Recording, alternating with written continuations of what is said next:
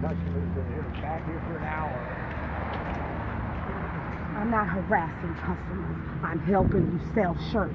Now her big ass titties did fit in that shirt, and I don't give a fuck about Trump or that bitch over there. Now he can suck my dick, and I don't have a dick. I have a fat ass pussy.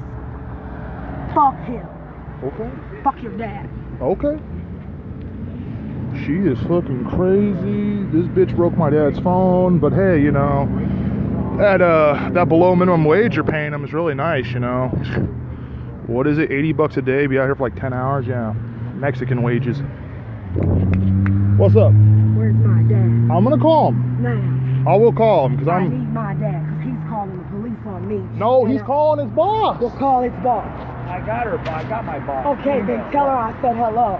Oh yeah, now you're being nice. Yes, I am nice. This is my I don't purse. want your purse. I know don't you want don't. brush.